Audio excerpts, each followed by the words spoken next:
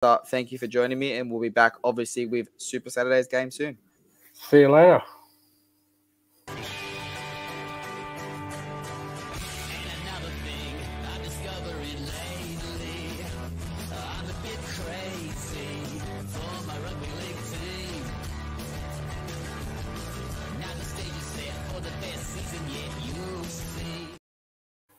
Welcome back. Welcome back. It's the Seagulls taking on the Bulldogs at 3 p.m. on Saturday. It is at Four Pines Park. Baxter, thank you for joining me once again. And as we are recording this, the Storm have gone over the line. So it is now 6 4 with a kick to come. So we will see how that one finishes up. But let's jump into the reason we are here. Tommy Turbo, he is back. Trbojevic at the back, Christian Tuipulotu, Brad Parker.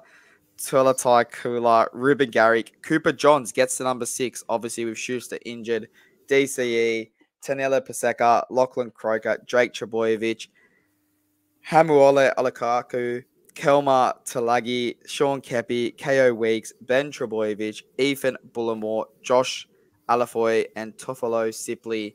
It's a strong side. We saw what they did, obviously, during that preseason challenge. How much do you read into it? They dominated the Roosters. They did have that bad 15 minutes. So it's a bit hard to read into this. What we saw was they can score points, they can leak points. So talk to me about this lineup. What do you think? Obviously, the major major talking points is Tom Trbojevic did pass the fitness test. He is into this side. Josh Schuster is out. Cooper Johns, who I thought was probably one of their best players during that preseason, does get the starting position.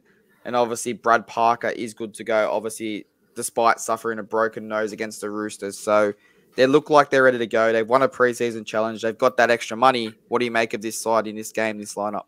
Yeah, it looks looks very good on paper. Um, Tommy T, let's see how his um, ex- extended hamstrings look. Maybe uh, those new stretching routines will help him long term. Um, yeah, good to see that Cooper Johns in I'll the just, six. Sorry, I'll just jump in there quickly. I'll jump in there quickly. Obviously, I don't know if you've heard this, but for the listeners at home, when they sent Tom Trbojevic over to America, it actually wasn't to do with any of the explosiveness. So that's why they've decided not to move him into the center.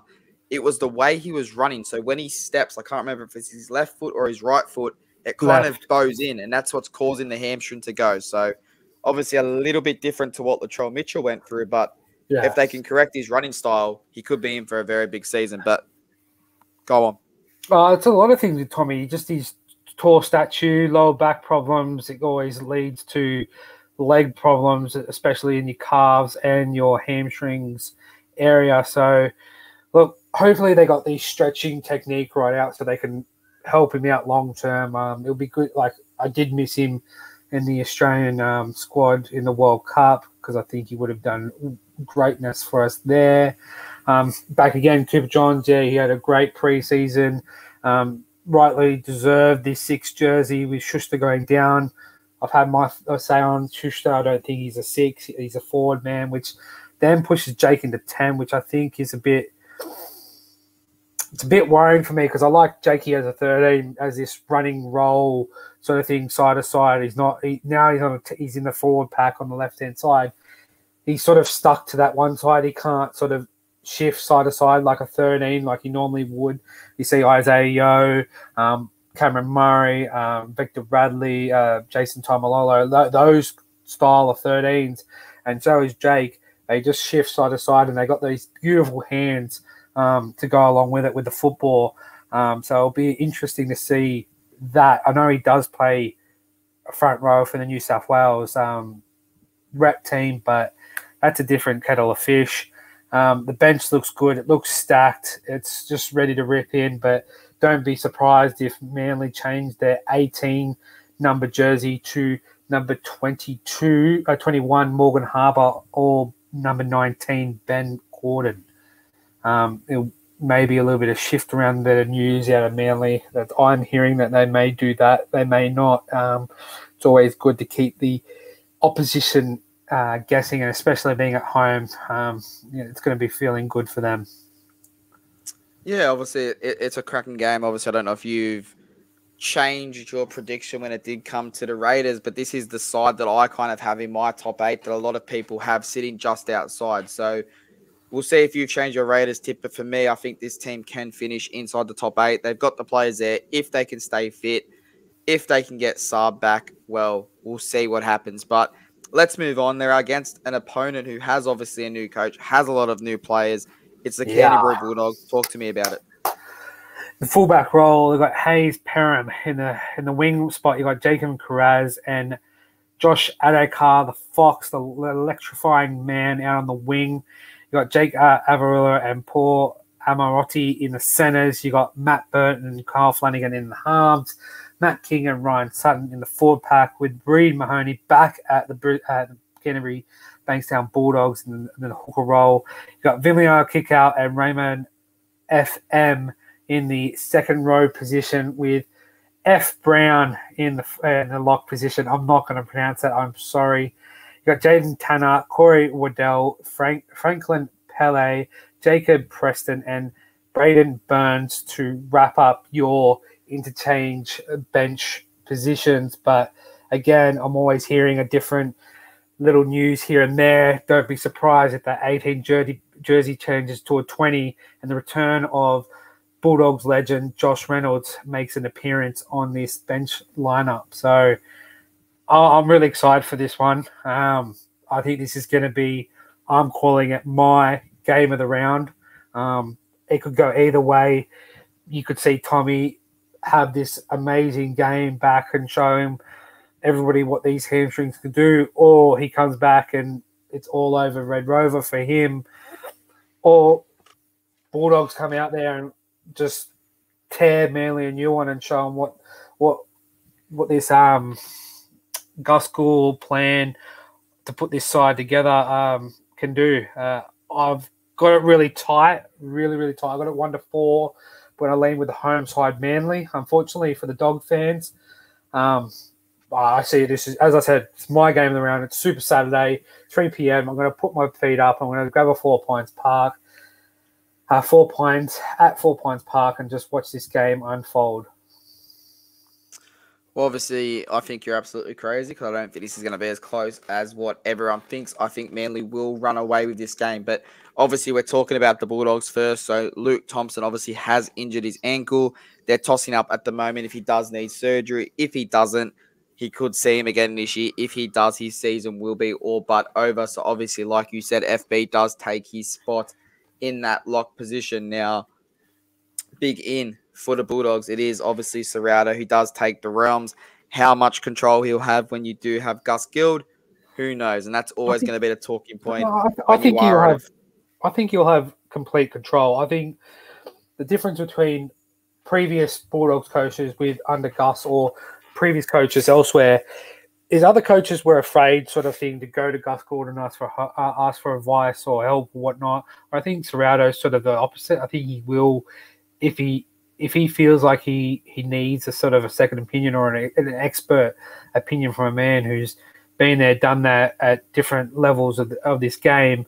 I think he's not afraid to just go to Gus and go, "What do you think about this, this, this? This is what I'm thinking," and he might come back with, "Oh yeah, do a bit of A, B, and maybe do a bit of X." Um, so I think he's got full control over that squad. But my um, my big concern, it's not like I, I wish he does well. Um, it's Kyle Flanagan. I wish he does well because I, man, I think this is a player who's purely, purely like designed for that seven role, but he just hasn't been given the chances at the Dogs so far. Um, and then when it has been his chances, they've just not re- really um, helped him out, nor like you know they've always let him down. So hopefully he does well and he can continue keeping that seven spot for the Bulldogs. Yeah, I mean, I- I've got no, no, I guess, Hard feelings. disagreement with that. No, no disagreement that I think that obviously he will go to Gus and he will obviously ask for a second advice. But I think there's already been a report leaked that he went when he wanted to put Josh Reynolds in the top 30 and he asked Gus Gould for permission. Now, if I'm the head coach, I'm picking the lineup, not you. I don't care who you are.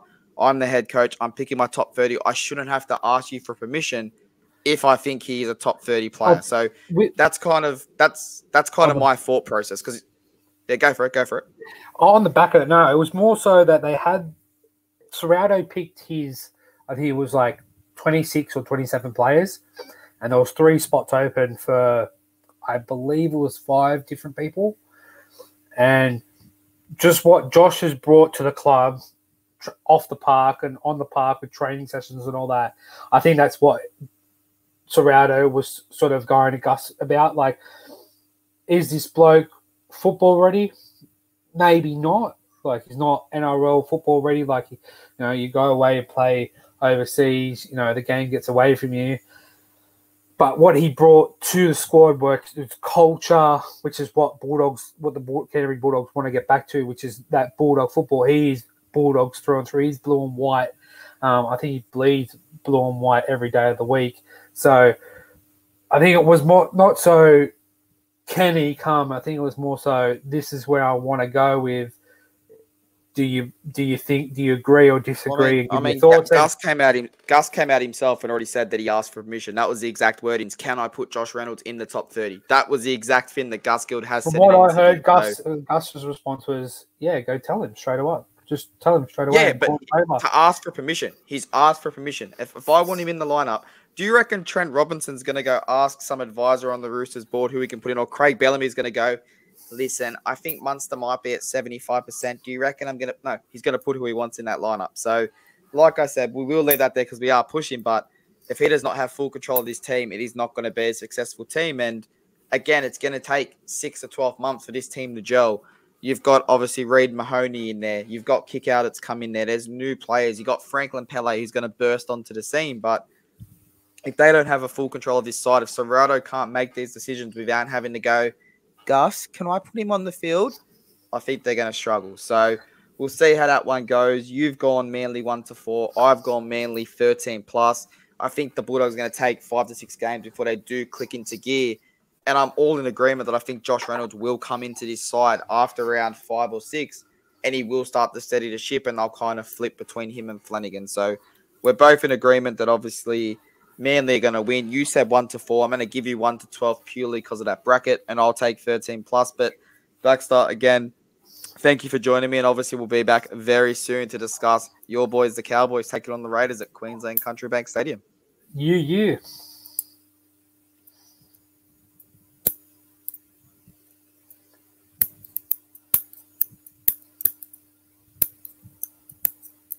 I'll cut this after. Parra just scored, by the way.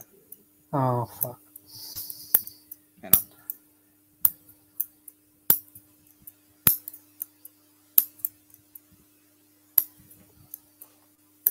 I don't need that. I'm just saying hi. Hi, bro. What do you want? Hello. What are you doing? What are you doing? Um, watching TikTok. How would you watch TikTok? She's watching your prediction go incorrect. Which My footy? prediction. He had, he Man. had Storm to wide. I think I did What? too. That's You fine. tip Storm anyway, R- Racina. I tipped him, but it's about on here. So if I win, I win. Is your son No. asleep? No. No, we don't have that much time. We still got to record like four games. Bye. Bye. All right. You ready? Yeah, let's keep kick into it. Three, two,